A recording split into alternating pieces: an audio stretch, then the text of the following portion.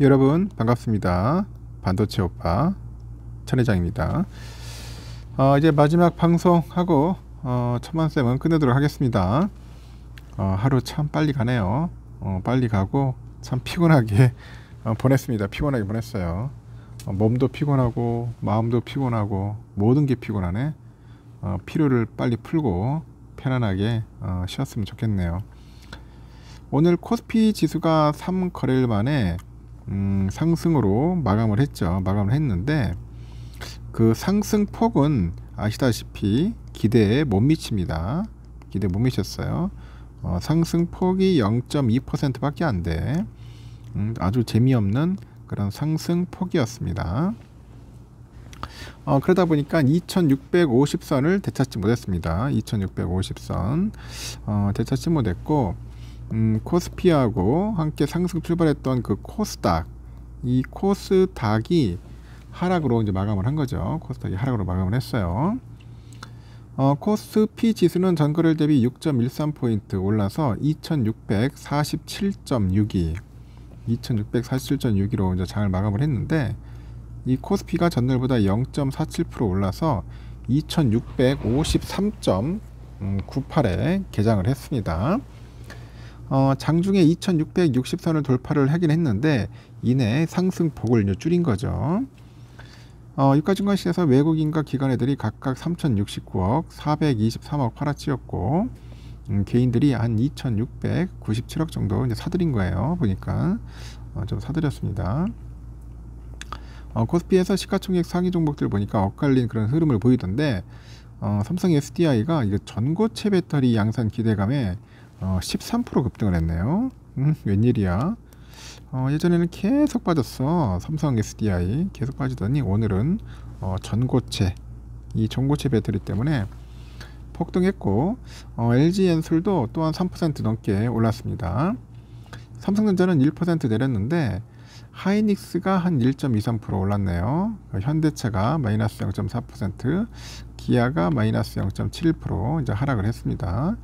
포스코홀딩스, 뭐 LG 화학 뭐 등등 해서 음, 상승으로 이제 마감을 했네요. 이 코스닥은 전날 대비 7.3포인트 하락을 해서 863.37 음, 37의 거래를 마쳤는데요. 어, 전날보다 0.42% 오르면서 874.30으로 개장을 했는데 음, 점차 이제 상승 폭을 어, 줄이더니 끝내 하락으로 마감을 합니다. 하락으로 마감을 했어요.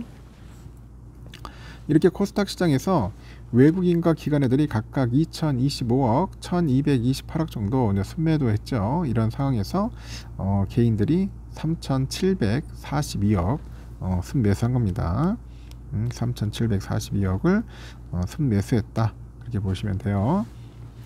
어, 코스닥 시총 상위 종목 보니까 에코프로 형제를 제외하고 약세를 보였어요. 에코프로가 0.4%, 에코프로 BM이 0.33% 이제 상승을 했죠. 엔캠이 5% 넘게 이제 하락을 했죠. 엔캠. 뭐 셀트리온 제약, 알테오젠, 뭐 제약 바이오 약세를 보이네요. 어, 이 밖에 뭐 레인보우 로보틱스, 신성 델타테크도 많이 하락을 했고 어, 오늘은 그 외국인이 코스피 현물을 이틀간 7천억 정도 넘게 순매도를 했습니다. 어, 추가적인 상승 동력이 좀 부재해서 어, 하여튼 2차 전지를 제외한 대부분의 종목이 이제 상승폭을 이제 반납을 했고 근데 2차 전지는 SDI가 그 급등세가 아주 특징적이었죠. 그리고 저 PBR주에 보니까 음, 금융 지주사 있어요. 금융. 이 금융 지주사가 양호한 흐름을 보였다. 그리고 보십니다. 어, 외환시장에서 미국 달러와 대비 원화 환율은 전거래일보다 3.6원이죠. 3.6원 정도 어, 하락을 해서 1330.9원으로 거래를 마쳤습니다. 어, 간밤에 미국 뉴욕 증시는 금리 인하 기대감이 퍼지면서 어, 3대 지수 모두 어, 상승으로 마감을 했습니다. 어, 이렇게 해서 음, 끝났어요. 음, 끝났고 좀 아쉽지만은 어, 지금 유럽장 보니까 영국이 한 0.2% 정도 음, 빠지네요. 보니까 상승폭은 반납을 하는 것 같은데 현재 빠지고 있고 프랑스가 0.01% 현재 쭉 반, 낙폭을 줄이면서 0.1% 올랐어요. 어, 독일도 지금 낙폭을 줄이면서 올라가고 있다. 음? 올라가고 있다.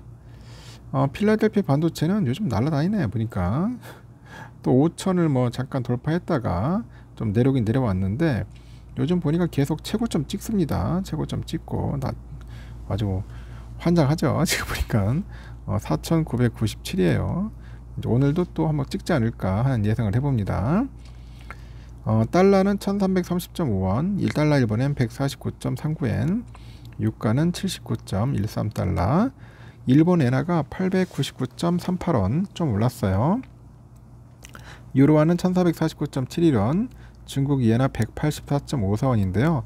어, 현재 유로와 중국 이엔화 좀 빠지고 휘발유가 음, 1639.5원인데요. 하락을 했습니다. 어, 국제금값 2158.2달러, 국내는 92,274.86원. 어, 금값도 빠지고 있다. 그렇게 보시면 됩니다. 어, 미국 국채 10년물은 4.102예요. 4.102.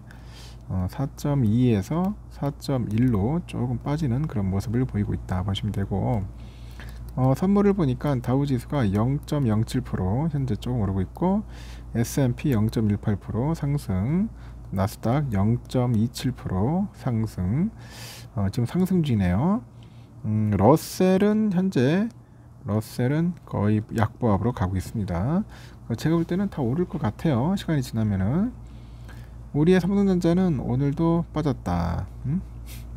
아침에 오를 듯 하더니 오후 되니까 힘이 없이 메가리 없이 빠지는 겁니다 어, 계속 요즘 뭐 파란색만 보이네 보니까 3일 연장으로 그냥 안 좋은 모습을 보였습니다.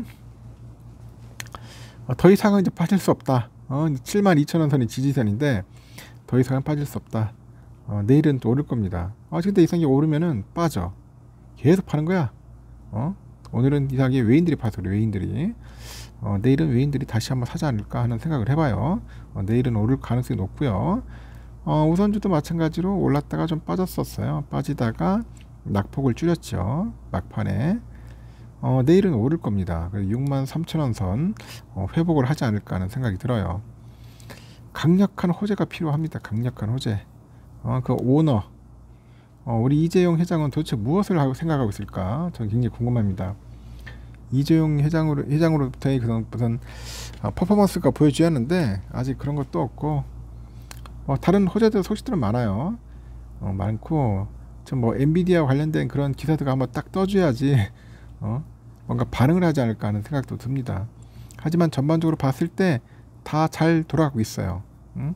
삼성은 잘 돌아가고 있다. 잘 굴러가고 있다는 거 참고하시고 어, 투자를 하실 때는 신중하게 신중하게 생각하시고 판단하시고 하셨으면 좋겠습니다.